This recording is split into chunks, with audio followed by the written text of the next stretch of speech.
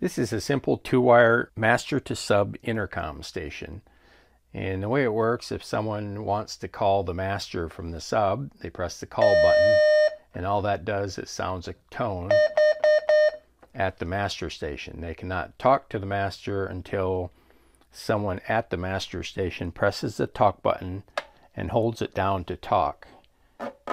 And now that's going through over to the substation. And when they want to listen, they just release the button. And if you leave the talk button down, now you can constantly monitor what's going on at the substation. And if you no longer want to monitor, then you have to hit this off button. If the master station wants to call the sub, all they have to do is press the talk button and start talking.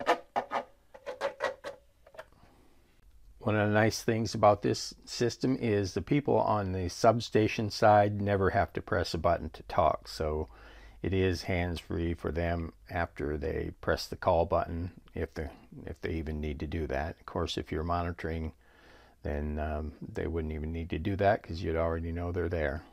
The master station has a volume control on the side, whereas the substation does not have a volume control. Wiring this system is very easy. Uh, it's got two terminals, one and E, and you want to make sure the one in E is connected to the one in E on the other station. So you just need to make sure like the stripe wire on here is connected to the E. It needs to be connected to the E on that side. And then the only other thing is the power supply wiring connects to the plus and minus. Of course, plus is red, minus is black. Got to make sure that is correct. And it comes with a little adapter for a plug on the end of the cable. So you just got to plug that in there. This system uses a two wire shielded cable. And shielded means there's an aluminum wrap around the outside of the two wires going through it, or it could be um, a copper braid or something like that around it. And what that does is that isolates the cable from noise. So if you happen to run it near an electrical power supply or cable, um, then it could pick up noise if it's running in parallel to that.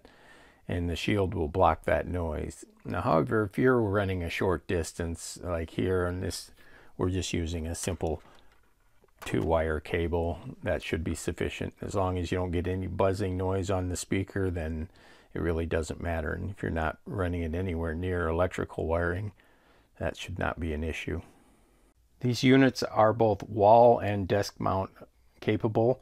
For wall mounting, you'll take this piece off and mount it to the wall, and then the uh, unit will drop down on it. It slides onto it. Um, otherwise, you just leave that in place, and it's got some rubber feet for desk mounting.